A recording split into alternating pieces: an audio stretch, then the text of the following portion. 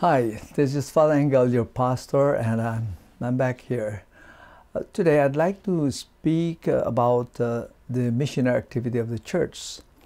You all know that we are all baptized, and as baptized people, we are sent. Precisely the word mission is from the word mittere, to send. So we are all sent into the world.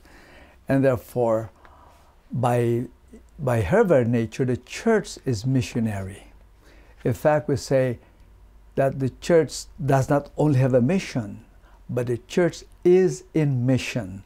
It is because every member of the church, by virtue of baptism, is sent into the world to become the light of the world, the salt of the earth, to be the face of Jesus. Now, there is a uh, decree uh, entitled Ad Gentes Divinitus, or what we call to the nations. No? In fact, this is a, one of the uh, documents uh, that we have here at Vatican II. And I'd like to repeat what this decree says. It says in, the, in number one, divinely sent to the nations of the world to be unto them a universal sacrament of salvation. The Church, driven by the inner necessity of her own Catholicity and obeying the mandate of the founder, Jesus Christ, as you find in Mark chapter 16, verse 16, the church strives ever to proclaim the gospel to all people. So that's the uh, opening of this uh, decree ad gentes, you see. In number six, it says that missions is the term usually given to those particular undertakings by which the heralds of the gospel sent out by the church and going forth into the whole world carry out the task of preaching the gospel and planting the church among peoples or groups who do not yet believe in Christ. And so, in that same decree, it says that the proper purpose of missionary activity is evangelization and the planting of the church among those peoples and groups where it has not yet taken root.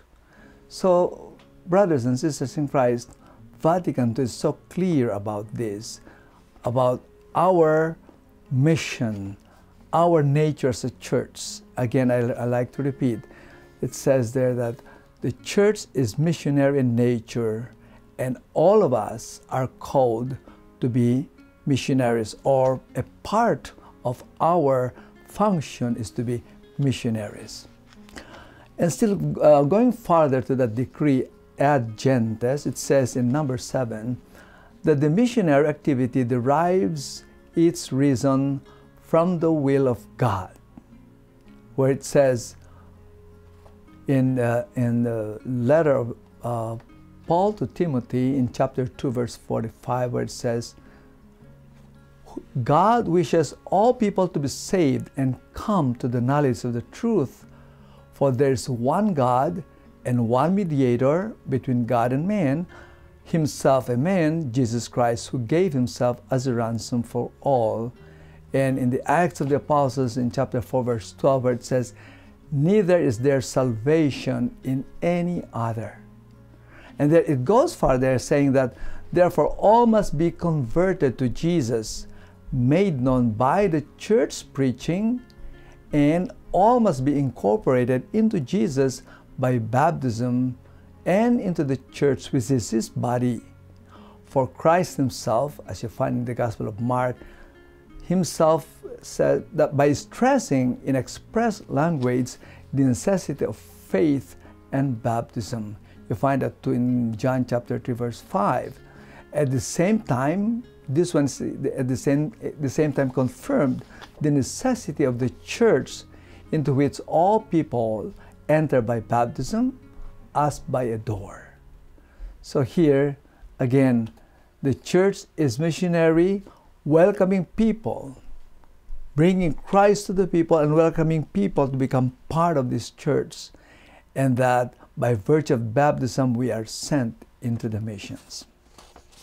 Brothers and sisters in Christ, this week we have a, a mission appeal from the Diocese of Marthandam in India. You see? As we have mentioned, uh, we are all missionaries. Though we cannot go to India and do missions, at least even if we are here in the confines of our parish or, or our homes, we can still extend our helping hand for the mission and for the missionaries working for the church. For example, in the Diocese of Marthandam in India, the population there is about the total population is 20 million 669 and 924 and out of that population there are about 65,000 Catholics. So it's about 3% 3.1% hmm, of the entire population and in that particular diocese they have um, 82 parishes and substations they've got also two hospitals and they have about 420 dispensaries, clinics, and health centers. They have four orphanages, and they have two homes for aged and destitute, and they have two high schools. And there is diocese in India are attending to all of these, but uh, unfortunately, they can't go on with their missionary activities without the resources coming from themselves and from the world. And for that reason, they're asking our parish if we could help them in some way. I know that during this pandemic, we tend to think of what we need because all of us are suffering due to this pandemic, and yet there's nothing, or rather, nothing so little for any help that we can give to the mission. After all, you know, that they are part of us as we are part of them too. We are all we all come from one baptism. Have one same Lord Jesus, and we have one concern, one main concern, to bring Christ to all peoples.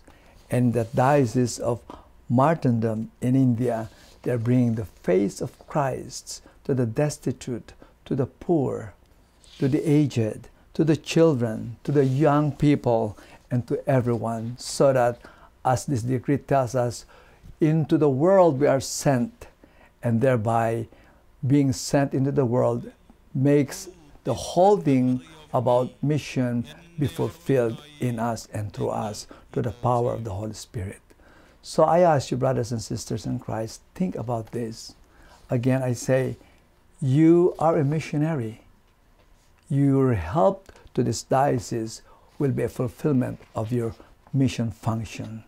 Thank you so much, and God bless you.